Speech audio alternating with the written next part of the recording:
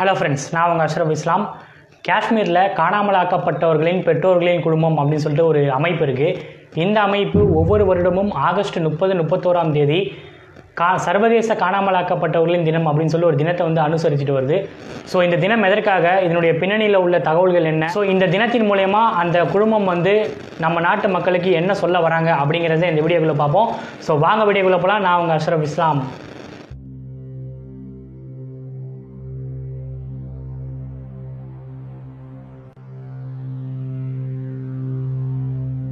காணாமலாக்கப்பட்டவர்களின் பெற்றோர்களின் குழுமம். இந்த குழுமத்தினுடைய வரலாறுகளையும் இந்த குழுமத்தினுடைய தகவல்களையும் நம்ம தெரிஞ்சுக்கணும்னு சொன்னால் இந்த குழுமம் ஏன் நம்ம ஆரம்பிக்கப்பட்டுச்சு அப்படிங்கிற விஷயத்தை நம்ம தெரிஞ்சுக்கணும். எப்போவுமே வந்து காஷ்மீர் குறித்து ஒரு சர்ச்சைக்குரிய விஷயம் வந்து விமர்சிக்கப்பட்டு கொண்டே இருக்கும். அந்த வகையில் காஷ்மீரில் நீண்ட காலமாக நடந்து கொண்டிருக்கக்கூடிய ஒரு அட்டுழித்தை பற்றி யாருமே கண்டுக்காமே இருக்காங்க. அதுதான் காஷ்மீரில் காணாமலாக்கப்படும் ஆண்கள். குறிப்பாக ஆண்கள்னு சொன்னால் எல்லா வயதுடைய ஆண்களும் வந்து காஷ்மீரில் இந்திய இராணுவ படையினரால் காணாமலாக்கப்பட்டு கொண்டே இருக்கின்றார்கள்.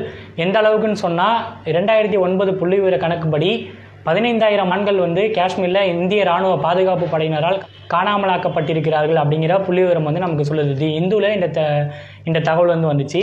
ஆனால் ஃப்ரண்ட் லைன் வந்து என்ன சொல்லுதுன்னு சொன்னால் ரெண்டாயிரத்தி பதினெட்டு கணக்குப்படி எழுபதாயிரம் ஆண்கள் வந்து காணாமலாக்கப்பட்டிருக்கிறார்கள் அப்படின்னு சொல்லிட்டு ஃப்ரண்ட்லைன் நமக்கு வந்து இந்த தகவலை சொல்லுது. ஸோ இந்த மாதிரி எப்படி இவங்க காணாமலாக்கப்படுறாங்க அப்படின்னு பார்த்தீங்கன்னா காஷ்மீரில் நமது பாதுகாப்பு படையினர் என்ன பண்ணுறாங்கன்னு சொன்னால் திடீர்னு ஒரு வீட்டுக்குள்ளே போகிறோம் காலையில் விட்டுடுறோம் அப்படின்னு சொல்லிட்டு அழைச்சிட்டு போகிறாங்க ஆனால் அதுக்கப்புறமா அந்த ஆண்களுடைய நிலைமை என்னங்கிறது யாருக்குமே தெரியல. அவங்க உயிரோடு இருக்காங்களா? இல்லை செத்து போயிட்டாங்களா? அப்படிங்கிற எந்த ஒரு தகவலுமே தெரியாமல் இருக்குது ஸோ இது காஷ்மீரில் நித்தம் நித்தம் நடந்துகிட்டே இருக்குது ரெண்டாயிரத்தி பதினெட்டு கணக்குப்படி ஃப்ரண்ட்லைன் இதில் சொன்ன தகவல் படி எழுபதாயிரம் ஆண்கள் வந்து இந்த மாதிரியான இது மாதிரி நமது பாதுகாப்பு படையினரால் வந்து காணாமலாக்கப்பட்டிருக்கிறார்கள். ஸோ இப்படி காணாமலாக்கப்பட்ட ஆண்களை தேடுவதற்காக ஒரு குழுமம் ஆரம்பிக்கப்பட்டுச்சு. யார் மூலியமா ஆரம்பிக்கப்பட்டுச்சுன்னு சொன்னால் அந்த காணாமலாக்கப்பட்ட ஆண்களுடைய மனைவி பெற்றோர்கள் பிள்ளைகள் எல்லாமே சேர்ந்து ஒரு அமைப்பு ஆரம்பித்தாங்க அந்த அமைப்பு தான் காணாமலாக்கப்பட்டவர்களின் பெற்றோர்களின் குடும்பம் அப்படின்னு சொல்லிட்டு காஷ்மீரில் இங்கே கொண்டிருக்கக்கூடிய இந்த அமைப்பு. இந்த அமைப்பு வந்து ஒவ்வொரு வருஷமும் ஆகஸ்ட் முப்பது முப்பத்தொன்று ஆகிய இரண்டு தினங்களில் சர்வதேச காணாமலாக்கப்பட்டவர்களின் தினம் அப்படின்னு சொல்லிட்டு ஒரு தினத்தை அனுசரித்து காஷ்மீரில் இது மாதிரியான அட்டுழியங்கள் நடக்குது அப்படின்னு சொல்லிட்டு வெளி உலகத்துக்கு விழிப்புணர்வு ஏற்படுத்தக்கூடிய நிகழ்ச்சிகள் வந்து நடத்துவாங்க. இப்போ உங்களுக்கு ஒரு கேள்வி எழலாம் இது மாதிரி நான் பாதுகாப்பு படையினர் செய்யக்கூடிய அட்டூழியங்களுக்கு எதிராக நாம் வந்து வழக்கு தொடுக்கலாமே அந்த மக்களுக்கு நீதி வாங்கி கொடுக்கலாமே அப்படின்னு சொல்கிற ஒரு கேள்வி வந்து உங்களுக்கு எழலாம். இதை வந்து நிறைய சமூக ஆர்வலர்கள் வந்து ட்ரை பண்ணியிருக்காங்க. ஆனால் முடியல. காரணம் என்னன்னு சொன்னால் அங்கே நம்ம இந்திய பாதுகாப்பு படையினரே பாதுகாக்க பாதுகாக்கக்கூடிய விதத்தில் வந்து அப்சா அப்படின்னு சொல்லி ஒரு சட்டம் இருக்குது ஆர்மட் ஃபோர்ஸஸ் பவர்ஸ் ஆக்ட் அப்படின்னு சொல்லிட்டு ஒரு சட்டம் இருக்குது ஆயுதம் தாங்கி சிறப்பு படைகளின் அதிகார சட்டம் அப்படின்னு சொல்லிட்டு ஒரு சட்டம் இருக்குது அந்த சட்டம் வந்து என்ன சொல்லுதுன்னு சொன்னால் இந்த ஆயுதம் தாங்கிய சிறப்பு அதிகார படைக்கு வந்து எந்த மாதிரியான விஷயங்களை ஈடுபட்டாலும் அவங்கள வந்து நம்மளால் தண்டிக்கவே முடியாது. இந்த சட்டம் வந்து அவங்கள வந்து பாதுகாத்து பாதுகாத்துட்டு இருக்கு. இந்த சட்டம் இந்த படை நினைத்தால் யாரை வேண்டுமானாலும் தீவிரவாதி அப்படின்னு சொல்லிட்டு அறிவித்து அவங்களை வந்து கொண்டுடலாம் இவங்க மேலே எந்த ஒரு வழக்கம் வராது. ஸோ இந்த சட்டம் வந்து அந்த அந்த மாதிரியான ஒரு நிலையில் இவங்க இவங்களை வந்து பாதுகாத்துட்டு இருக்கிறதுனால சட்ட ரீதியாக இந்த ஆயிரம் தங்கிய சிறப்பு படையினர் மேலே நம்மளால் எதுவுமே பண்ண முடியல. நம்ம ஹர்ஷ் மந்திர் உட்பட நிறைய பேர் வந்து இதை ட்ரை பண்ணியிருக்காங்க. ஆனால் வந்து இது வரைக்கும் வந்து ஆயுதம் தாங்கிய படையினர் ஒருவர் கூட தண்டிக்கப்பட்டதாக எந்த ஒரு தகவலுமே இல்லை. இப்போ காஷ்மீரில் வந்து ஆர்டிகல் த்ரீ செவன்ட்டி நீக்கப்பட்ட விவகாரம் வந்து நிறைய வந்து விவாதிக்கப்பட்டு கொண்டே இருக்கின்றது. அது மட்டும் இல்லாமல் காஷ்மீர் த்ரீ செவன்ட்டி ஆர்டிகல் வந்து நீக்கப்பட்டது சரியா தப்பா அப்படின்னு சொல்லிட்டு நிறைய வந்து நிறைய பேர் வந்து பேசிகிட்டு இருக்காங்க. நான் என்ன சொல்கிறேன்னு சொன்னால் இந்தியாவுனுடைய சட்டங்கள் எதுவுமே வந்து காஷ்மீரில் தலையிடாது. காஷ்மீரில் வந்து செல்லுபடி ஆகாது அப்படிங்கிறதெல்லாம் ஒரு பொ சுத்த பொய்யான ஒரு விஷயந்தான் அப்படி தலையிடாதுன்னு சொன்னால் இந்த ஆயுதம் தாங்கிய சிறப்பு படையினுடைய சட்டம் வந்து அங்கேயே வந்து நிலுவில் நிலுவில் இருக்குது ஸோ இது எல்லாமே வந்து ஒரு பொம்மாத்து வேலை தான். உண்மையிலேயே பார்த்தீங்க அப்படின்னு சொன்னால் இந்தியாவுடைய பல சட்டங்களை வந்து காஷ்மீரில் வந்து செயல்படுத்திட்டு தான் இருக்காங்க. அதுவும் சட்ட விரோதமாகவே செயல்படுத்திகிட்டு இருக்காங்க.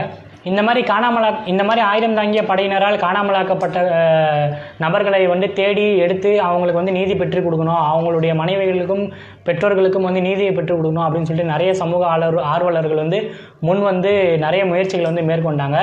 அதனுடைய ஒரு பகுதி தான் வந்து சில வருடங்களுக்கு முன்னால் எழுநூறு கூட்டு புதைகுழிகளை வந்து காஷ்மீரில் வந்து கண்டுபிடிச்சாங்க. அந்த கூட்டு புதை புதைகுழியில் வந்து நிறைய ஆண்களுடைய பிணங்கள் வந்து கண்டெடுக்கப்பட்டுச்சு. அந்த ஆண்களுடைய பிணங்கள் எல்லாத்தையும் பார்த்து நம்ம சமூக ஆர்வலர்கள்லாம் என்ன சொன்னாங்கன்னு சொன்னால் காஷ்மீரில் காணாமலாக்கப்பட்ட ஆண்கள் தான் இவங்க. ஸோ அந்த ஆண்களுடைய உடலை வந்து மரபணு பரிசோதனை செஞ்சால் இந்த உண்மைகள்லாம் தெரிஞ்சிடும் அப்படின்னு சொல்லிட்டு ரொம்ப போராடி கடைசியில் இரநூத்தம்பத்தாறு பிணங்களை வந்து மரபணு பரிசோதனை செஞ்சாங்க. ஆனால் அந்த இரநூத்தம்பத்தாறு பிணங்களும் பரிசோதனை செய்து வந்த ரிசல்ட் என்ன சொல்லுதுன்னு சொன்னால் உண்மையிலே காணாமலாக்கப்பட்ட இளைஞர்களில் சில பேர் தான் அந்த இரநூத்தம்பத்தாறு பேர். அப்படிங்கிறத நமக்கு தெளிவாக சொல்லிடுச்சு மேலும் அங்கே இருக்கக்கூடிய மீதமுள்ள பிணங்களை ஏழாயிரம் பிணங்கள் மொத்தம் வந்து கண்டெடுக்கப்பட்டுச்சு.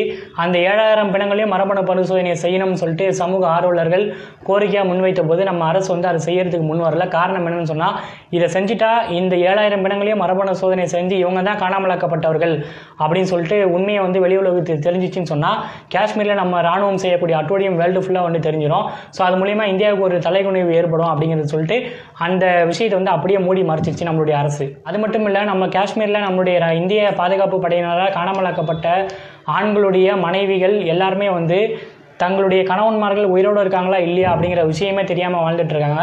இதனால் அந்த பெண்களை வந்து பாதி விதவைகள் ஹாஃப் விடோஸ் அப்படின்னு சொல்லிட்டு அழைக்கிறாங்க.